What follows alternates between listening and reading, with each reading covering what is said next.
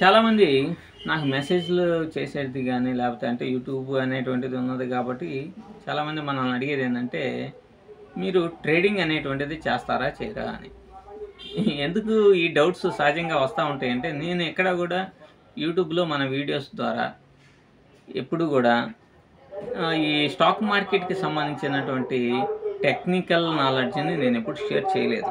ఎందుకంటే ఇంట్రాడే చేసేటువంటి వాడికి టెక్నికల్ నాలెడ్జ్ పూర్తి స్థాయిలో అవసరం లేదనేది నా నిశ్చిత అభిప్రాయం అనమాట కాబట్టి నాకు కొన్ని ప్రిన్సిపల్స్ అనేటువంటివి ఉంటాయి ఎలా పడితే అలా యూట్యూబ్ స్టార్ట్ చేసాం కదా.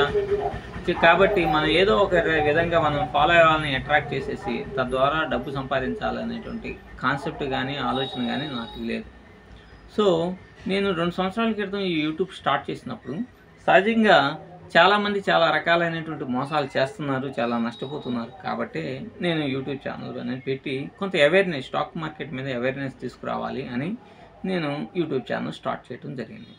ఇప్పుడు యూట్యూబ్స్లో స్టాక్ మార్కెట్కి సంబంధించినటువంటి విషయాలు చెప్తూ ఉన్నప్పుడు నాకు యూట్యూబ్ స్టాక్ మార్కెట్ మీద అవగాహన లేకుండా నేను ట్రేడ్ చేయకుండా ఎలా ఉంటాను? ఖచ్చితంగా చేస్తా. కాకపోతే నా మోటివ్ ఏంటంటే వంద మంది మనం ఈ స్టాక్ మార్కెట్లో ఇంత డబ్బు వస్తుంది ఈ విధంగా మీరు విచ్చలవిడిగా డబ్బులు సంపాదించవచ్చు రోజుకి లక్ష కూడా సంపాదించవచ్చు లేకపోతే ఐదు లక్షలు సంపాదించవచ్చు అనేటువంటి కాన్సెప్ట్ని నేను చెప్పానంటే నన్ను బ్లైండ్గా నమ్మేటువంటి వాళ్ళు కూడా కొంతమంది ఉంటారు. వాళ్ళు ఎంటర్ అయ్యేసి వాళ్ళు డబ్బులు పోగొట్టుకుంటే ఆ పాపం నాకెందుకు? కాబట్టి వంద మంది లాభం పొందే కంటే ఒకడు నష్టపోవడం అనేటువంటిది నాకు ఇష్టం లేదు. కాబట్టి నేను ఎప్పుడూ కూడా స్టాక్ మార్కెట్లో ఈ టెక్నికల్ నాలెడ్జ్ ఉంది. ఈ విధంగా మీరు చేయండి. డబ్బులు పిచ్చ విచ్చలవిడిగా వస్తాయి అని నేను ఎప్పుడు ఎంకరేజ్ చేయలేదు. చేయను కూడా. అలాగే నేను కొంతకాలం పాటు అంటే వన్ ఇయర్ పాటు కాల్స్ కూడా ఇవ్వటం జరిగింది. తర్వాత కొన్ని అనివార్య కారణాల వలన మా మదరు ఎక్స్పైర్ అవటం వలన నేను కాల్స్ ఇవ్వటం అప్పుడు ఆపేశాను. నేను ఒక సంవత్సర కాలంలో మనం ఇచ్చినటువంటి కాల్స్ కానీ ఏవైనా అద్భుతమైనటువంటి రిజల్ట్స్ ఎక్కడా కూడా ఎవరు కూడా నష్టపోయాము అనేటువంటిది చెప్పలా. నేను కాల్స్ ఆపిన తర్వాత చాలామంది ఫోన్ చేసేసి కొంతమంది మెసేజ్లు పెట్టి మీరు ఇచ్చినప్పుడు కాల్స్ మేము చాలా హ్యాపీగా సంపాదించుకున్నామండి. తర్వాత వేరే వాళ్ళని నమ్ముకొని చాలా నష్టపోయాము అని చెప్పేసి చెప్పారు. కాబట్టి మన వల్ల ఎవడు కూడా నష్టపోకూడదు అనేటువంటి కాన్సెప్ట్తోనే కాల్స్ అనేటువంటిది ఇవ్వడం జరిగింది. మరి అంత యాక్యురసీగా కాల్స్ ఇచ్చాము అని అంటే స్టాక్ మార్కెట్ మీద చార్ట్స్ మీద టెక్నికల్ నాలెడ్జ్ మీద వీటన్నిటి మీద అవగాహన లేకుండా ఇస్తానా? లేకపోతే నేను ట్రేడ్ చేయకుండా ఇస్తాను? సరే ఇంత అవగాహన ఉన్నప్పుడు ట్రేడ్ చేయకుండా ఉంటారా? కాకపోతే నా మోటివ్ ఏంటంటే ఈ ఆప్షన్ ట్రేడింగ్లోకి వెళ్ళినటువంటి చాలామంది యూత్ అనవసరంగా వాళ్ళ కెరీర్స్ నాశనం చేసుకుంటున్నారు. అలాగే ఈ చాలామంది మాయ మాయ మాటలు వినేసేసి ఈ చదువుకునేటువంటి వాళ్ళు కూడా జాబ్స్ చేసేటువంటి వాళ్ళు కూడా వీటిలోకి ఎంటర్ అయిపోయేసి అనవసరంగా ఎమోషన్కి గురయ్యి విపరీతంగా డబ్బు పోగొట్టుకుంటున్నారు. తద్వారా వారి కెరీర్ని నాశనం చేసుకోవడమే కాకుండా జాబ్ చేస్తున్నటువంటి వాడు దీంట్లోకి వచ్చిన తర్వాత దీంట్లో డబ్బులు పోయి అటు జాబ్ మీద కాన్సన్ట్రేషన్ చేయక జాబ్ను పోగొట్టుకొని ఇటు స్టాక్ మార్కెట్లో డబ్బును పోగొట్టుకొని ఫ్యామిలీస్ చిన్నభిన్నమైనటువంటి సంఘటనలు కూడా మనం చాలా చోట్ల చదువుతూ ఉంటాం.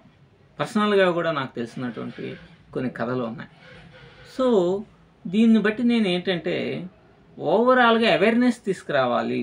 కొంచెం మోటోగా ఇప్పుడు ట్రేడ్ చేసేటువంటి వాడికి మోటివేటెడ్గా ఉండాలి. ట్రేడ్స్లోకి వద్దాము అనేటువంటి వాడికి అబ్బాయి ఇది అంత సరైనటువంటి ప్లాట్ఫామ్ కాదు. దీని మీద ఈ ప్లాట్ఫామ్ మీద గెలవాలి అంటే రకరకాలైనటువంటి మైండ్ సెట్స్ ఉండాలి. ఒక స్టెబిలిటీ ఉండాలి ఒక కాన్ఫిడెన్స్ ఉండాలి ఒక పేషెన్సీ ఉండాలి. ఇట్లాంటివన్నీ ఉండాలి అనేటువంటి కోణంలోని మనం వీడియోస్ అనేటువంటి చేస్తూ ఉన్నాం. ఇక్కడ నా మెయిన్ మోటివ్ ఏంటంటే నేను టెక్నికల్ నాలెడ్జ్ని కనుక చెప్తే అది పర్ఫెక్ట్గా వర్కౌట్ అవుతుంది అనేటువంటి గ్యారంటీ లేదు. ప్రపంచంలో ఈ ప్రపంచంలో అద్భుతంగా చెప్పేటువంటి ఇప్పుడు పిఆర్ సుందర్ ఉన్నాడు సుభాషిష్ పాణి ఉన్నాడు మరొకరు మరొకరు ఉన్నారు. వాళ్ళు చెప్పేటువంటి టెక్నికల్ నాలెడ్జ్ హండ్రెడ్కి హండ్రెడ్ పర్సెంట్ వర్కౌట్ అవుతుందా? హండ్రెడ్కి సిక్స్టీ పర్సెంట్ కూడా వర్కౌట్ కాదు. Fifty five percent work out అయితే హీఈస్ ఏ సక్సెస్ఫుల్ ట్రేడర్ అనమాట దాంట్లో ఎటువంటి డౌట్ లేదు.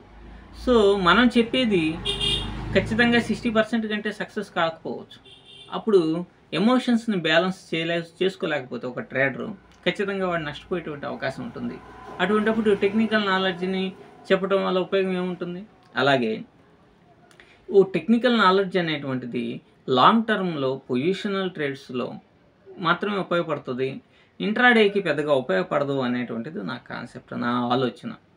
ఒక బిగ్ బుల్లిష్ క్యాండిల్ పెడితే మార్కెట్ అనేటువంటిది విపరీతంగా అవాయిసవ్వలాగా పైకి పోతుందని లేకపోతే ఒక బిగ్ బేరిష్ క్యాండిల్ పెడితే స్ట్రాంగ్ బేరిష్ క్యాండిల్ పెడితే ఖచ్చితంగా మార్కెట్ కిందకి కొలాప్స్ అయిపోతుంది అనేటువంటి టెక్నికల్ నాలెడ్జ్ని చెప్పినటువంటి వాళ్ళు చాలామంది ఉన్నారు. కానీ అలా జరగదు.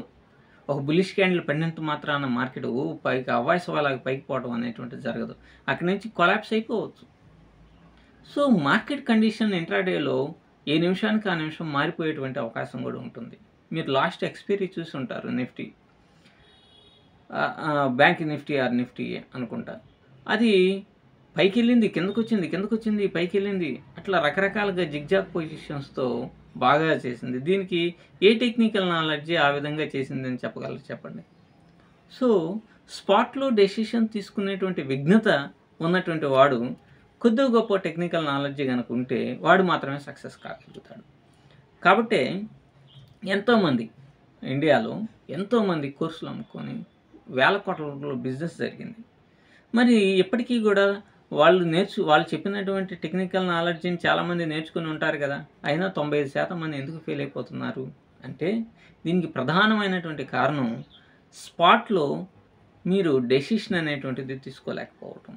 ఒక్క టెక్నికల్ నాలెడ్జే కాదు. మీరు ఎంట్రీ పాయింట్ని స్పాట్లో కూడా తీసుకునేటువంటి నేర్పు కూర్పు అనేటువంటిది కూడా ఉండాలి.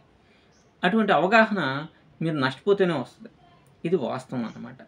కాబట్టి ఈ మనీతోటి ట్రేడ్ చేస్తూ ఉన్నప్పుడు మనం చేసేటువంటి మిస్టేక్స్ ఖచ్చితంగా జరుగుతాయి. జరగకుండా ఉండవు. మీరు మిస్టేక్స్ ఎన్ని చేస్తూ ఉంటే మీకు స్టాక్ మార్కెట్లో అంత నాలెడ్జ్ వస్తుంది అనేటువంటిది వాస్తవం అన్నమాట. కాబట్టి మీరు మిస్టేక్స్ చేయకుండా నేనేదో టెక్నికల్ నాలెడ్జ్కి సంబంధించినటువంటి పది వీడియోస్ చేస్తే మీరు ఎలా సక్సెస్ అవుతారు? సో నేను నమ్మింది అది మీరు తప్పులు చేయకుండా స్టాక్ మార్కెట్లో నేర్చుకోలేరు అనేటువంటి సిద్ధాంతాన్ని నేను నమ్మినప్పుడు ఆ సిద్ధాంతాన్ని డిప్లాయ్ చేయకుండా నేను నా అంతటి నేనుగా ఏయో మీకు అవసరమైనటువంటి కొన్ని విషయాల్ని చెప్పేసేసి మీ దగ్గర ఏదో కొద్ది డబ్బులు వసూలు చేసుకోను లేకపోతే ఏదైనా చేసుకుంటే నాకు అల్టిమేట్గా బెనిఫిటే కానీ మీకు ఎలా బెనిఫిట్ అవుతుంది? ఇది ఒకటి. అలాగే మీరు ఏదో ఒక కోర్సు నేర్చుకొని ఎట్ ఏ టైం స్టాక్ మార్కెట్లో గుద్దికేసిన తర్వాత మీరు విచ్చలవిడిగా డబ్బులు సంపాదించాలి సంపాదిస్తాము అని అనుకోవడం కూడా చాలా పెద్ద బ్లండర్ మిస్టేక్ చాలామంది కొంతమంది యూట్యూబ్ ఛానల్స్ ఇచ్చేసి లైవ్ ట్రేడ్స్ అని లేకపోతే మాకు ప్రాఫిట్స్ వచ్చినాయని ఇది ఇది అని చెప్పినటువంటి వాళ్ళు తర్వాత రోజున కొద్ది కాలం తర్వాత అసలు యూట్యూబ్ ప్లాట్ఫామ్ నుంచే మాయమైపోతుంటారు. అలాంటి వాళ్ళు ఆంధ్రప్రదేశ్లో కూడా ఉన్నారు తెలంగాణలో ఉన్నారు. అలాగే నార్త్ ఇండియాలో కూడా ఉన్నారు పిచ్చ పిచ్చ వ్యక్తులు.